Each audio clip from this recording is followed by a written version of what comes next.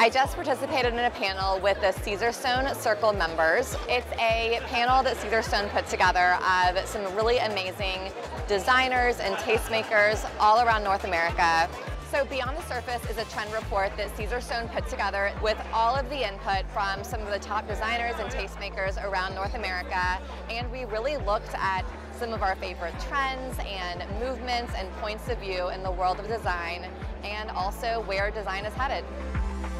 One of my biggest takeaways was to see how everybody will take very similar product but utilize it in very different ways. And very thought-provoking actually in terms of being able to take that information, digest it, and see how I would actually start designing in maybe a different way as well.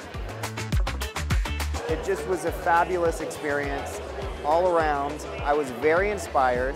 Everybody wants the same thing. They want something beautiful, they want something durable, they want something maintenance free, something sustainable, and that's what we loved about the Caesarstone product.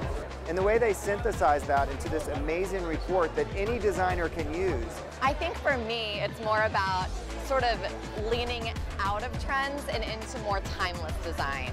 You know, this booth is maybe one of a, a, prime example where the color usage is amazing, but everybody feels at peace here, even though we're at a big convention center. We all wanted something natural, warm, neutral, and timeless.